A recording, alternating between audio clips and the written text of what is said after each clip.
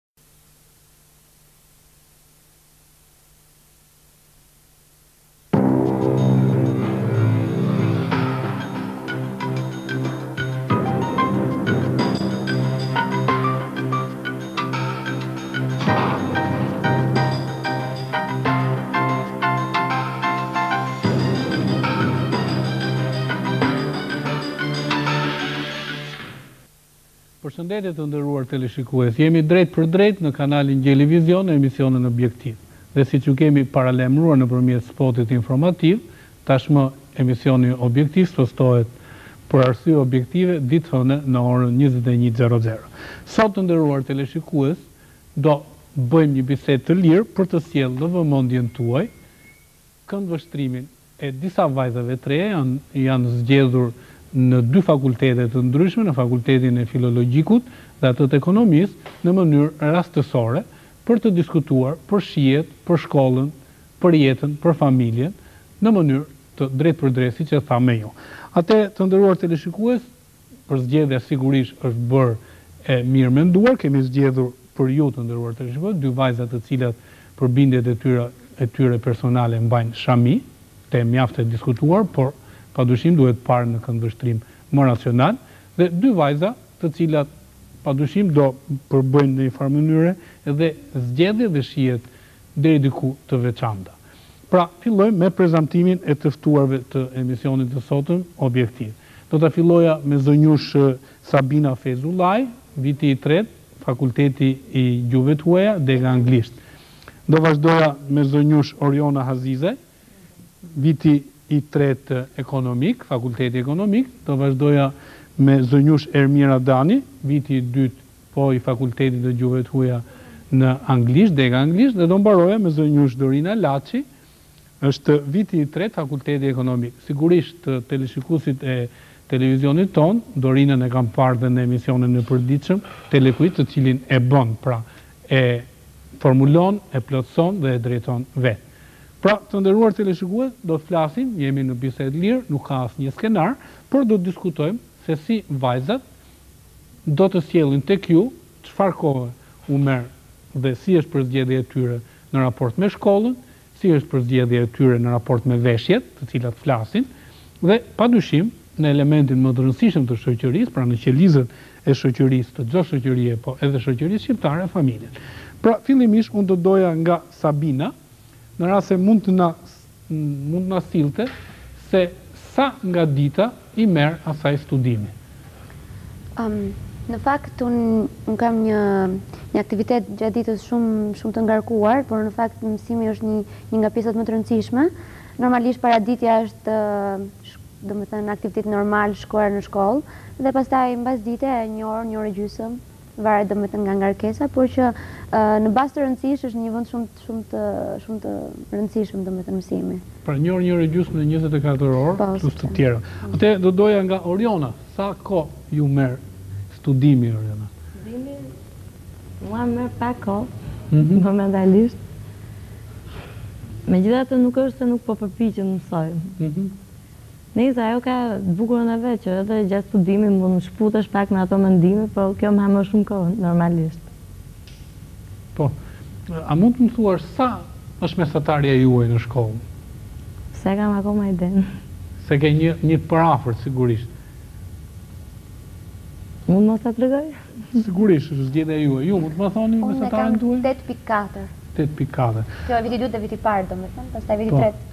Sigurisht, një ditë, dy ditë e vjen tjetër. Atëherë, Ermira, po e njëjta pyetje për ju. Sa kohë ju ha studimi gjatë gjithë ditës? Studimi është një pjesë shumë e rëndësishme, se përderisa kemi vendosur të ndjekim një fakultet, duhet që ta justifikojmë këtë emër. Domethënë, nuk është thjesht diçka formale, thjesht të marrësh një diplomë dhe ta fusësh në xhep. Megjithatë, nga ana tjetër unë nuk parapëlqej shumë gjërat formale që parametra fiks që sot do studioj kaq orë domethënë. Një mesatare sigurisht.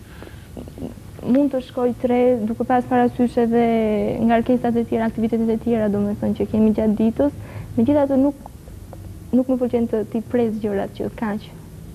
Dhe kam tipin që të merrem shumë edhe me gjëra që Mua më tërheqin. Drejt. Jo vetëm me. A mund të thoni disa nga gjërat që ju tërheqin?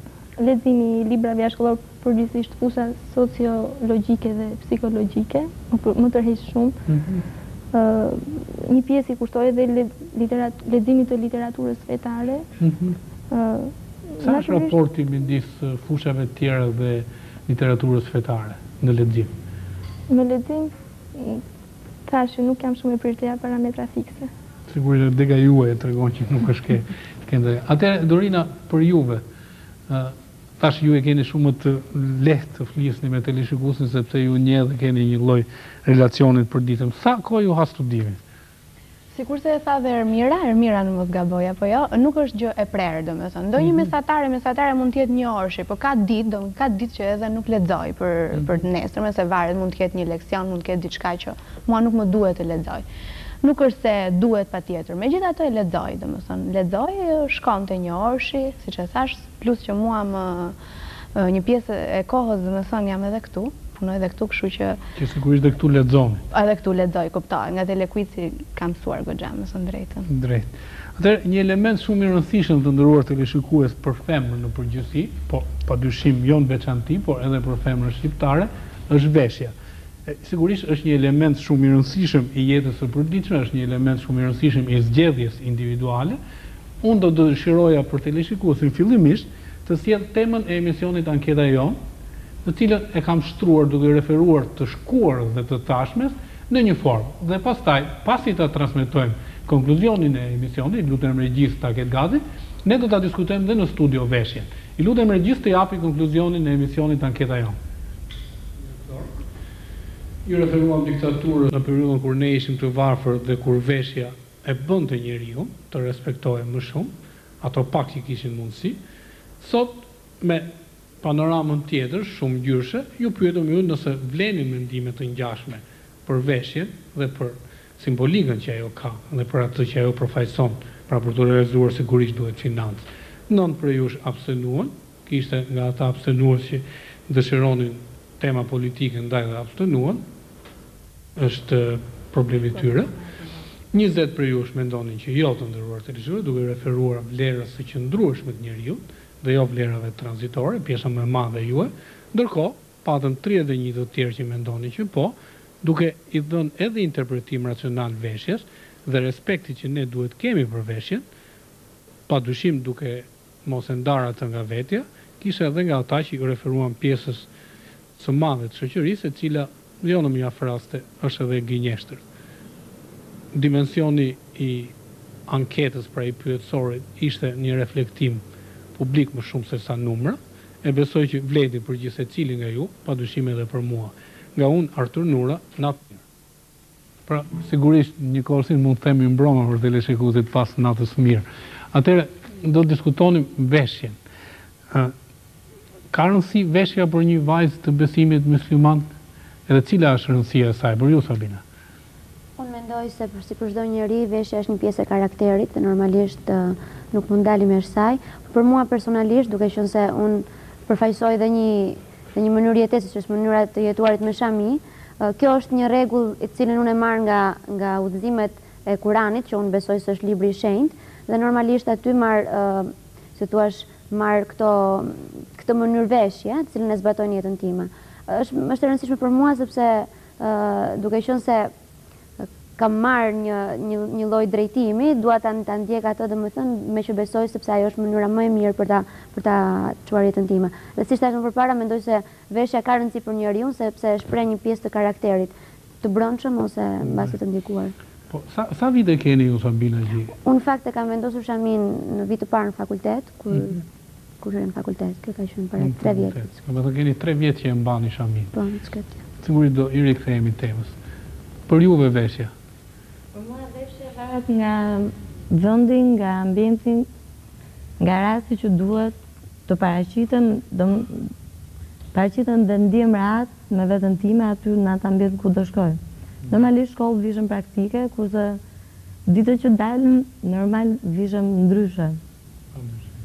Po për mua ka shumë rëndësi veshja.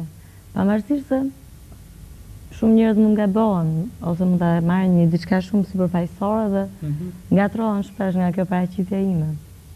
Megjithatë, unë këtë rrugë kam dhe derisa jam vetvetja ndihem mirë.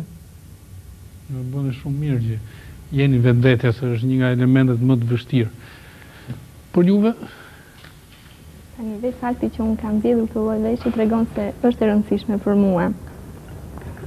Dhe siç e tha Sabina, njeriu merr pjesë në shoqëri dhe prezanton, kërkon të identifikohet në shoqëri se kush është. Shumë njerëz zgjedhin forma të ndryshme për t'u identifikuar. Si vajzë muslimane, E kam zgjedhur sepse këtu nuk besoj se kemi ardhur të flasim shumë për preferencat tona, sepse po të ishte një gjë e tillë ne mund fare mirë mund të dilnim para një pasqyre dhe ia thonim preferencat vetes sonë të pasqyruar.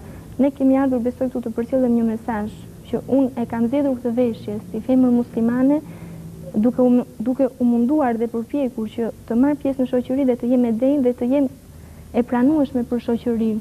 Varet se sa na Se sa na pranon shoqëria është diçka tjetër, domethënë, po ne mundohemi të të bëjmë një përpjekje që të të jemi të pranueshme në shoqëri. Edhe vetë mesazhi hyjnor kërkon këtë gjë prej nesh, mos jemi larg shoqërisë, sepse njeriu integrohet dhe rritet bashkë me shoqërinë. Prandaj, ë ndoshta shumë njerëz mund të na paragjykojnë, na paragjykojnë neve në një anë dhe paragjykojnë edhe shoqet tona në anën tjetër. Njeriu e zgjedh një rrugë jetese, pavarësisht nga paragjykimet që i shfaqen në jetën e përditshme, por ajo që është, domethënë që të jetë i bindur për atë që bën, i sigurt dhe i qetë me veten e tij, edhe me krijesat, me njerëzit që e rrethojnë. Prandaj desha të them që është e rëndësishme, sepse Si mund të ndiheshim ne nëse dikush do dilte në rrugë pa u pa hekurosur apo i pa i papastër. Prandaj do të thotë njeriu duhet t'i kushtojë rëndësi, por jo por gjithmonë duhet të prekim atë që nuk është gjithçka. Është një pjesë e rëndësishme. A mund të thoni, ka simbolikë shamia e ndryshme tek ju të dyja? Apo është thjesht zgjedhje e shijeve është? Ëh mirë, këtu duhet dhe unë në fakt doja ta ta përmendja, sepse shumë veta e marrin shaminë tonë si një simbol fetar. Në fakt nuk është i tillë, sepse shamia është thjesht një detyrë siç kemi ne në fenë tonë një sërë detyrash të ndryshme agjërimi ose lutja gjatë ditës, është edhe kjo shami.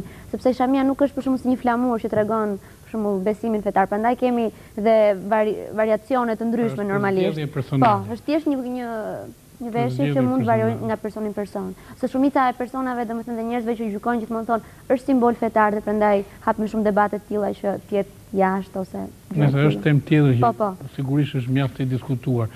Ndërkohë, unë do i lutesha regjisë ndërkohë që ne flasim, të sjellë për teleshikuesin filmimet e bëra në të dy fakultetet përkatëse, në të cilat sillet jeta e përditshme atje. veshjet e pjesës më të madhe, sepse padyshim edhe vajzat me shami janë të ndërgjegjshme që përbëjnë pakicë, për këtë nuk ka. Atëherë, për juve Dorina, veshja. Patjetër që dhe për mua është shumë e rëndësishme veshja. Në fillim, në radhë të parë unë respektoj veten time me anë të veshjes, pastaj respektoj të tjerët, ata që më rrethojnë, me ata që punoj, me ata që flas e tjera e tjera, që bashkëpunoj. Paraditja për mua është gjithmonë sportive, ju e keni parë vetë, besoj, sepse më duhet të lëviz nga shkolla në punë, nga puna në shpi, kështu që më duhet të lëviz me një çantë shpine, edhe pse jam në fakultet, domethënë kam preferencën time, kështu më pëlqen, pastaj mbasditja për mua është diçka ndryshe, një veshje më klasike ndoshta, po gjithmonë kombinohem, asnjëherë nuk jam e prerë, ose sportive, ose klasiken, ose modernen e tjera e tjera. Gjithmonë i kombinoj me njëra-tjetrën sepse kështu më pëlqen. Kjo është zgjedhja ime. Kjo është zgjedhja ime. Shumë drejt. Unë do dosha, do doja të bëja një pyetje që sigurisht po do dëshiroja që të kisha sinqeritetin e duhur. Jeni pak a shumë një moshë me zgjedhje të ndryshme. E sigurisht para disa vitesh ju vetë e thatë që nuk keni vendosur shami. Jeni qenie biologjike të njëjta, me arsye dhe me motivacion të njëjtë biologjik, a kjo bindje, që sigurisht duhet respektuar dhe askush nuk ka të drejtë të ndërhyjë në bindjet e individit, a ju ka frenuar, a ju krijon në momente të caktuara padyshim një një lloj sikleti. Për të marrë fjalën. Po Sabina fillimisht. Siç e përmendi edhe Dorina. Dorina, duke qenë se ajo ndjehet e lirë në zgjedhjen që ka bërë, normalisht unë nuk e ndjej veten të kushtëzuar derisa unë kam qenë e lirë kur e kam vënë shaminë, sepse edhe kjo është edhe edhe thelbi i shamisë, është diçka që edhe çdo riti fetar nuk ka vlerë dhe nuk ka asnjë lloj sinjifikacioni qoftë se nuk bëhet me me zgjedhjen e lirë të personit. Momentin kur jam e lirë dhe kam bërë një zgjedhje ndjehem mirë me veten time. dhe ndjej që nuk nuk jam e e kushtëzuar nga asgjë. Është punë tjetër pastaj si e shikojnë njerëzit dhe mendojnë se Jo, padyshim, nuk ju referova sepse unë nuk unë dua t'i paragjykoj njerëzit. Nuk kanë të drejtë të ndërhyjnë në bindjen dhe jetën individuale. Pra i paragjykoj, e kanë gabim. Por do i referohesha anës materiale, pra fizike. Po, po. Edhe diçka dua të them, unë jam njësoj si moshatarët e mia, kam të njëjta, kam ëndrra, kam si thua dëshira për jetën dhe kjo nuk më pengon aspak, domethënë shamia dhe ato rite që që ndjek që ta shijoj jetën biles kjo është një një gjë shumë e rëndësishme domethënë unë duhet ta shijoj jetën dhe duhet ta vlerësoj sepse vlerësoj dhe krijuesin që ma ka dhënë këtë jetë prandaj është diçka që Drejt. ka Juve? Ti kthemi prapë je. Jeta është Po. diçka e shtrenjtë që një herë i dhurohet njeriut, nuk i dhurohet më për së dyti. Dhe të dish ta jetosh jetën në mënyrën më të bukur është me të vërtetë diçka madhështore. Unë desha të cek këtu sepse desha Se ndodhin keqkuptime, por për një besimtar, boshti i ekzistencës, boshti i jetës, prej të cilit vërtitet çdo gjë është kënaqësia e Zotit. Dhe Zoti nuk kërkon që të më adhurosh mua do thotë të heqësh dorë nga jeta apo të jetosh një jetë të rëndë. Zoti me me mesazhin hyjnor kërkon t'i përcojë njeriut që jetoje unë ta lehtësoj jetën ty për këtë botë dhe për botën tjetër. Nuk do thotë shpeshherë janë ato idetë e asketizmit, idetë të cilat refuzohen sepse për unë ndër faktorët që mua më kanë ndihmuar shumë të të ec t'i hedh hapat e mi mbi rrugën e Islamit kanë qenë ka qenë edhe morali i bukur që unë kam parë ke gocat me shami buzëqeshje që unë nuk do t'i fshi nga nga shiriti i kujtesës sime dhe ishin ato që jetonim një shoqëri që ma përçuan mua këtë mesazh dhe shpresoj që të nesërmen të jem unë që këtë mesazh ta përçoj tek të tjerat dhe nuk ka kuptim që Të shmangemi apo të mos dimë ta jetojmë jetën, është një dhuratë që Zoti ta ka dhënë dhe të dish ta jetosh bukur dhe me dinjitet.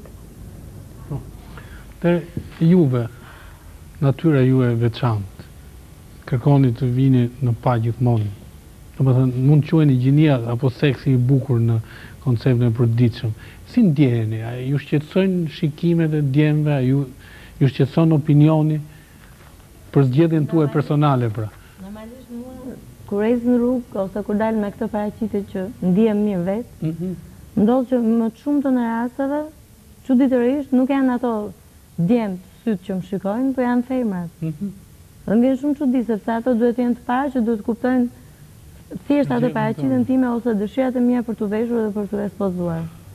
Dhe unë mbi të gjitha këtë gjë duke e ditur Akoma pa dalë nga shpija që e përballoj opinionin për këtë veshje që kam bërë dhe po dal e veshur e këtillë, unë normalisht nuk ndihem e bezdisur aspak nga shikimet e tyre.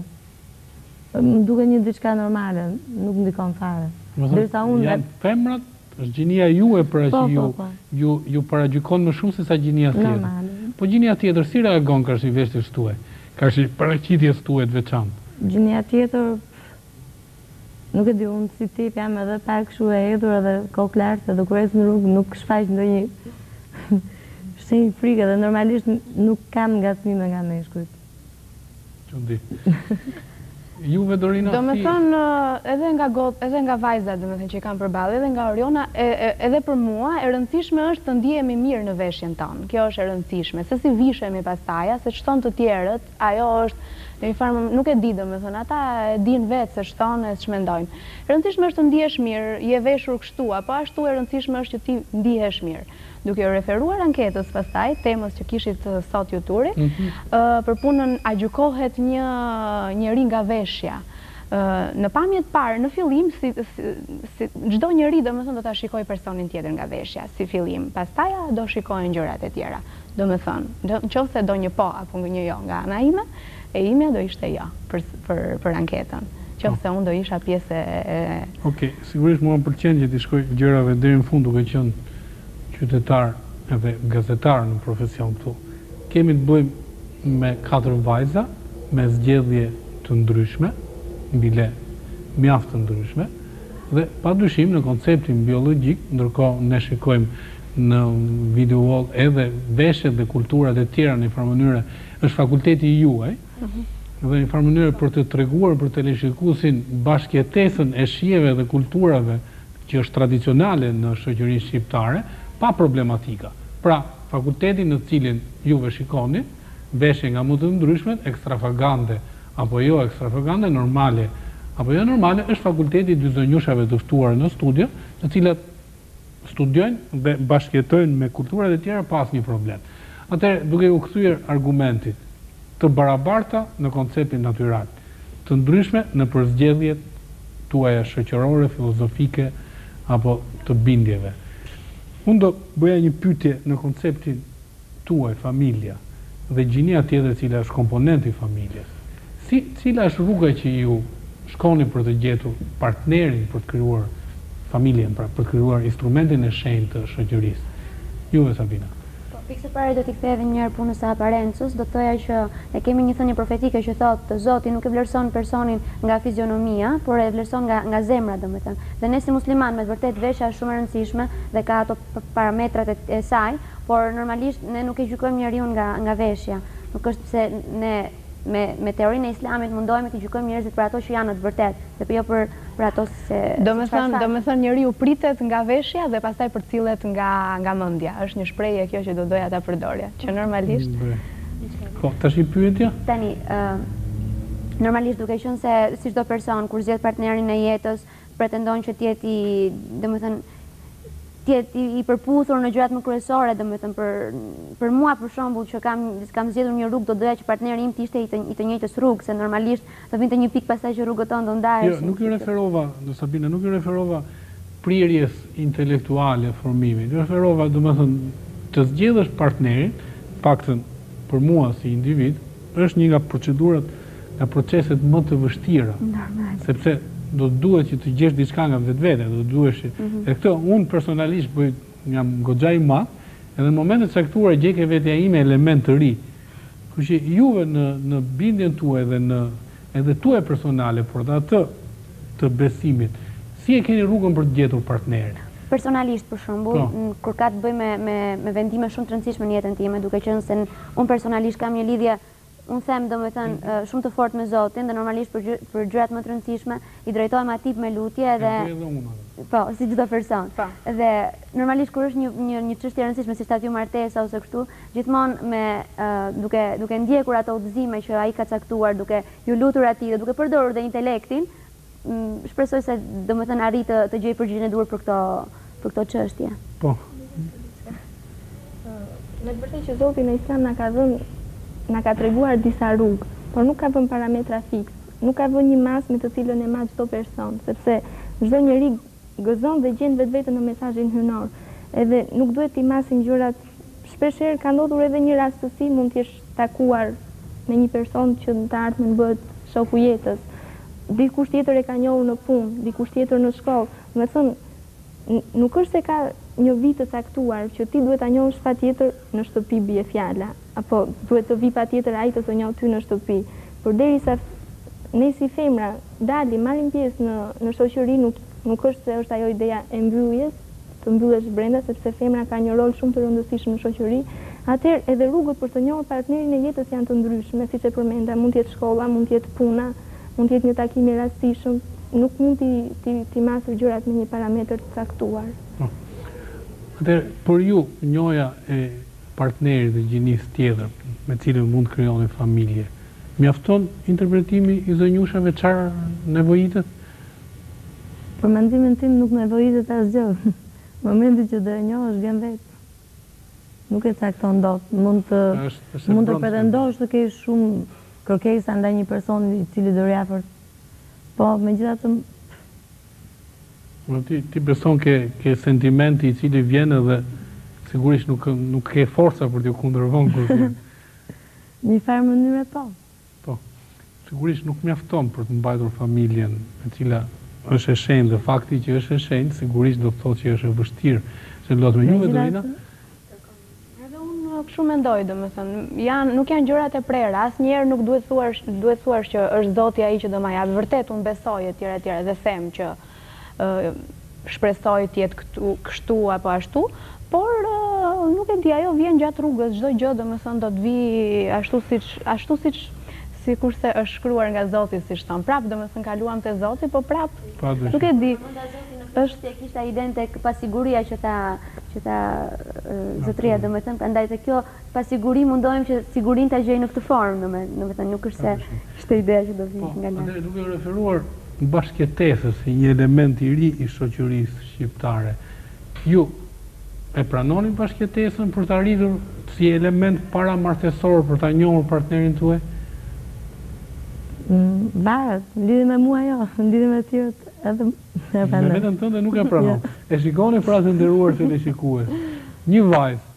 e cila, po ta shikosh kështu, e paragjykon, e paragjykon dhe e tha drejt, e paragjykon edhe gjinia e saj, jo më tjetra, nuk pranon bashkëjetesën.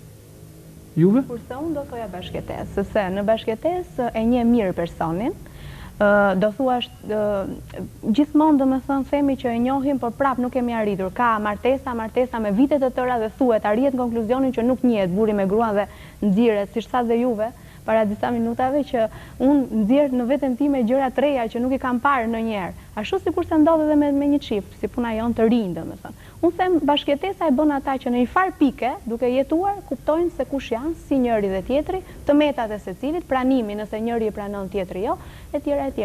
Sepse nëse do ndodhë për martesën pastaj, do ndodhë direkt në martesë, nuk e di, ndoshta do duken në martesë, pastaj do ketë ato problemet, po, po.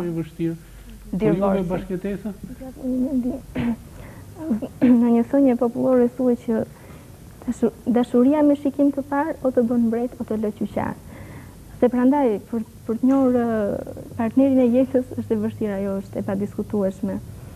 Ë Megjithatë, domethënë, duke e pas parasysh atë që tha Sabina, që ka hapa që nuk është puna se në Shqipëri ajo që kam vënë re është një tendencë se papjekuria ka shumë pasoja lë shumë pasoja pas këtu ndodh ajo që në fillim martohen pastaj fejohen pastaj dashurohen me thënë nuk e di në në në shumë lidhje s'e di a ekziston ajo dashuria e sinqertë mes mes dy personave kur lidhen me njëri tjetrin sigurisht ekziston te jo në të gjitha lidhje do ishim po, në botën e përtejme pastaj a jo a e njohin mirë njëri tjetrin a janë të sigurt për atë që për atë hap që marrin në anën tjetër që njeriu është gjithmonë mister, domethënë është misterioz, është diçka e fshehtë, domethënë ne nuk pretendohet që ta njohim njëqind për qind njëri tjetrin, nuk mund të flasim me koeficient të lartë sigurie.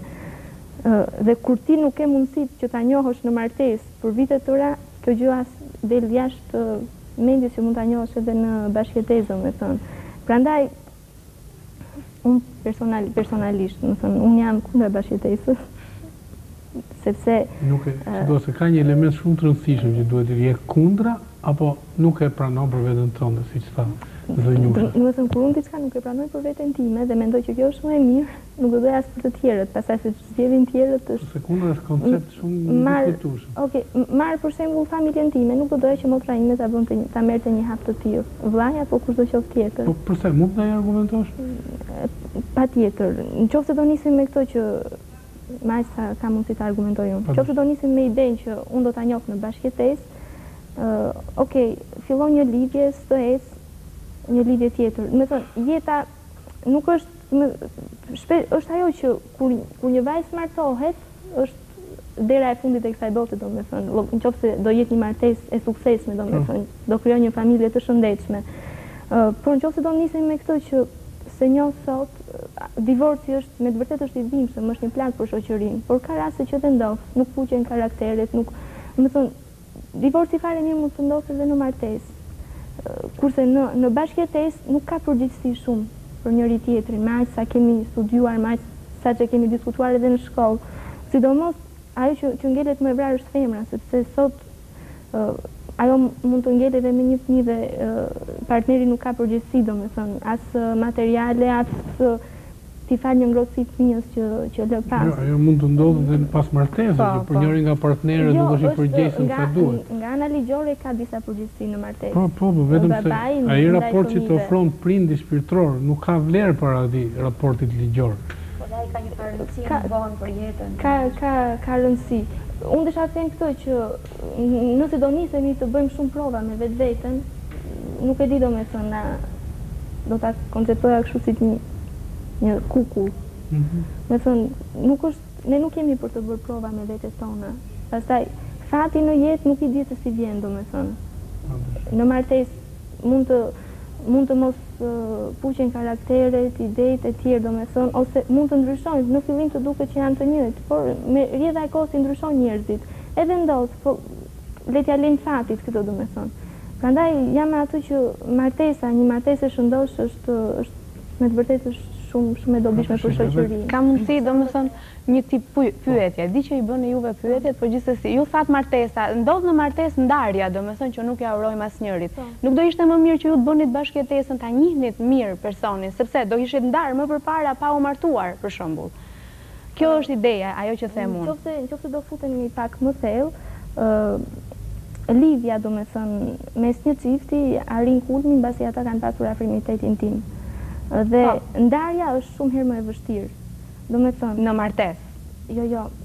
Flas se edhe në bashkëjetesë kjo realizohet. Po, në parim është e vështirë. Po, në parim. Në konceptin poetik i referohen metaforës së sklavit kur i hiqen prangat që të dhemb.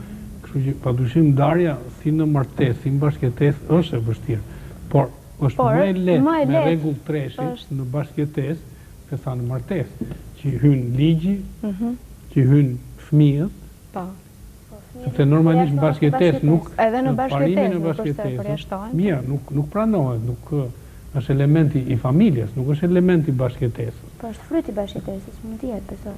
Po, sigurisht. Në qoftë se ti e ke bashkëjetesën në koncept të përhershëm, pa dyshim. Në qoftë se e ke si provë për të njohur partnerin, siç u referuam dhe pyetjes, Mund t'i kthehesh Dorinës, domethënë, duke qenë se shpeshherë përdorim fjalën sepse jeta është shumë e gjatë dhe shpeshherë përdorim nuk e njoh vetveten, në një moment të caktuar shikoj që kam kam reaguar në një rrethanë që as vetë nuk e dija domethënë, edhe duke qenë se ne gjatë gjithë jetës jemi akoma në njohje të vetvetes, nuk mund të pretendojmë që një bashkëjetesë, sado vite që të jetë, të të njohim një person tjetër. Prandaj unë do mendoja që për martesën, në qoftë se neve do ta njihnim personin për çështjet më kryesore, të të ishim domethënë të të informuar, të kishim dashurinë brenda, të gjitha këto, do të mjaftonte për Një familje të shëndoshë. Pastaj për gjëra të vogla, ose kështu, nuk do mjaftonte gjithë jeta për ta njohur. Sa do ishte kjo kohë, thjesht një pyetje. Nuk ka, nuk ka. Prandaj jo mendova që po. Jo, normalisht prandaj. Po them bashkëjetesa sado që të jetë, një vit, dy, një muaj dhe kështu, nuk do mjaftonte kurrë. Jo, në parim domethënë bashkëjetesa ka një moment njohës, jo si familje informale, sepse koncepti familje informale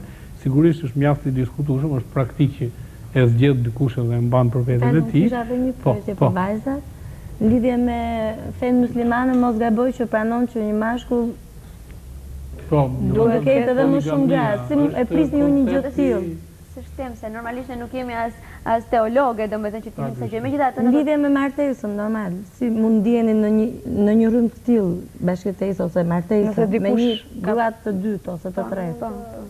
Do flasësh mirë, flas. Si do ndihesh? E para e punës, mesazhi hyjnor, do të thonë mesazhi islam ka ardhur për të gjitha kohërat. Nuk ka ardhur për një popull të caktuar dhe për një kohë të caktuar. Dhe në Kuran mashkullit nuk i drejtohet ti merri katër. Siç përdoret, ose mund në në raste të tjera. Jo, në raste të tjera kanë arrit që kanë thënë edhe 7, gjë që nuk është domethënë. Po. Megjithatë, nuk i drejtohet ti meri se po i more je më i miri. Bile në Kuran thuhet dhe nëse mendoni se nuk do të jeni të drejtë është më mirë një. Dhe gjithmonë është ajo tendenca për për të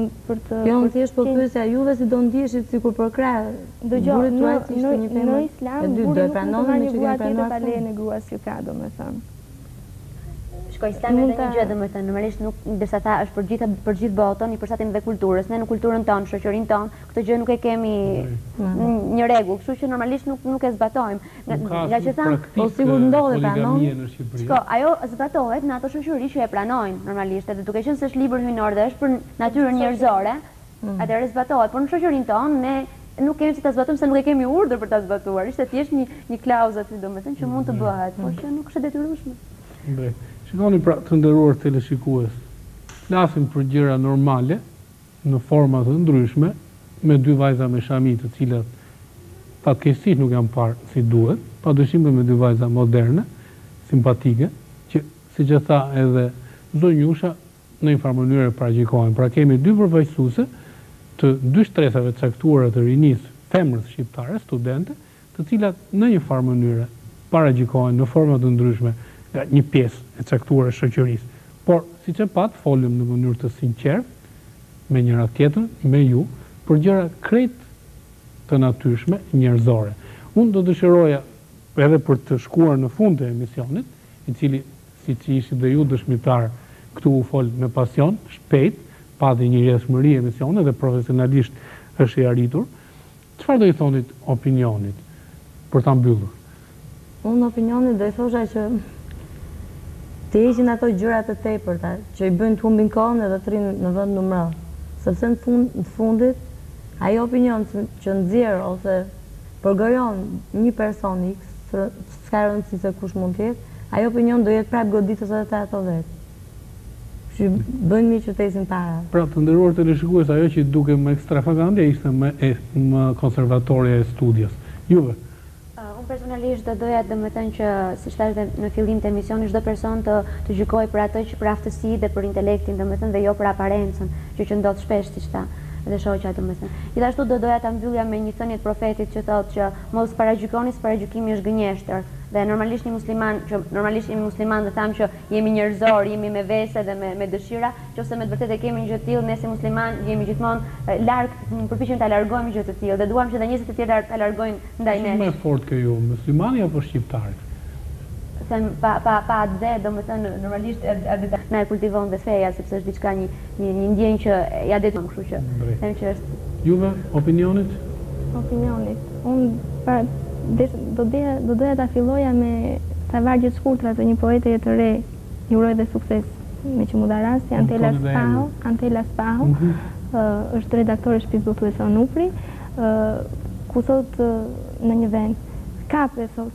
Jo çasti një, kape veten dhe ushqeje kur përpiqet të ikë prej teje. Domethënë që shpesh herë në në Shqipëri vihet re tendenca për të për të parë tjetrin dhe rrallë herë njeriu ia drejton gishtin vetes së tij domethënë kush jam unë, çfarë duhet të bëj unë. Edhe këtë kërkon edhe mesazhi hyjnor të të kultivojë tek njeriu. Në radhë të parë kultivo vlerat që t'i ka mbjellë Zoti në zemrën tënde, fërkoji që të ndriçojnë tek ti në radhë të parë, pastaj kërkoji ato tek të tjerët t'i shoh t'i shohësh ata tek të tjerët dhe duke qenë se ne jemi këtu dhe një pjesë na na shikojnë nëpërmjet ekranit të televizionit, do doja t'ju çoja si mesazh që t'ju vënë një vizë paragjykimeve, sepse me të vërtetë janë është mendimi më i pabazuar. Është mendimi që me të vërtetë shkatërron. Thotë populli gjuha kocka nuk ka, po kocka thyen. Prandaj domethënë nuk, njeriu nuk ecë përpara dhe nuk rritet në qoftë se nuk merret me veten e tij por me të tjerët. Në anën tjetër, uroj që gjithsecili të jetë një shembull i mirë për shoqërinë. Vetë Zoti në Kur'an u drejtohet besimtarëve dhe Ne ju bëmë juve një popull të dobishëm. Këtë kërkon Zoti nga njeriu të jetë i dobishëm për të tjerët, t'ia lexojë hallin në sy tjetrit dhe ta ndihmojë atë, ta lexojë të bukurën dhe ta ndjekë atë, ta lexojë të shëmtuarën dhe t'i largohet asaj. dhe më e shëmtuar se paragjykimi dhe gënjeshtra janë ndër gjërat më të shëmtuara. Besoj se arritëm konkluzionin edhe unë, te paragjykimi. Asnjëherë nuk duhet të paragjykojmë. Sikurse vajzat preferojnë të vishen kështu, unë nuk dua, por nuk i paragjykoj sepse ky është mendimi i tyre, kjo është ashtu e perceptojnë ato jetën, domethënë kështu e mendojnë, Sikurse unë e mendoj kështu, edhe Oriona flasim për ne të katërta që jemi këtu, se ne personifikojmë të reja, domethënë vajzat e reja, ato që studiojnë e tjera e tjera, po dhe ato që nuk studiojnë. Kështu që konkluzioni është mos paragjykoni, sepse secili ka dëshirat e veta e tjera e tjera. Pra, ideja të nderuar teleshikues ishte bashkëjetesa midis bindjeve, midis shijeve, midis formimeve, jo vetëm profesional, por dhe shpirtëror e intelektual, në formë shqiptare, tradicionale, pra siç e patë dhe ju në mënyrë të drejtpërdrejtë këtu në televizion, jemi dhjetë pançerekë për shkanora, mënyra më origjinale e bashkëjetesës ishte në këtë studio, padyshim e shoqëruar me filmime në fakultetet përkatëse, me natyrat e çlirëta të studentëve tanë, dhe ne zgjodhëm diçka të veçantë midis tyre, padyshim për të sjellë ke ju në mënyrë origjinale bashkëjetesën pra të shijeve të kulturave të zgjedhjeve e cila më bukur se kaq bile është ndoshta është mjaft bukur për të qenë realiteti por padyshim është shumë më afër realitetit erdhi pa asnjë paragjykim nga dy vajza me shami të cilat folën me ne në studio por dhe me ju të nderuar teleshikues për parimet e tyre, për zgjedhjen e tyre në raport me veshjen, për zgjedhjen e tyre në raport me shkollën, për zgjedhjen e tyre në raport me gjininë tjetër dhe familjen, me bindjet e tyre dhe padyshim këtu patëm rastin të shikonim atë që ju sigurisht si unë do kishit menduar si më ekstravagante dhe në përzgjedhjet e saj të jetës që ishte më konservatorja në studio. Padyshim edhe me mikën tonë. edhe tuajën së bashku nëpërmjet Telekuizit, Dorinën e cila ishte origjinale sot në studio. Unë ju falenderoj, falenderoj të ftuarit dhe prezencën e tyre që folën me ne dhe me ju të nderuar teleshikues, e padyshim edhe juve që ndetët me ne dhe na dëgjuat në mënyrë origjinale shijet tona të cilat kur i sheh nga larg të duken më të tmerrshme se ç'janë. Janë krejt.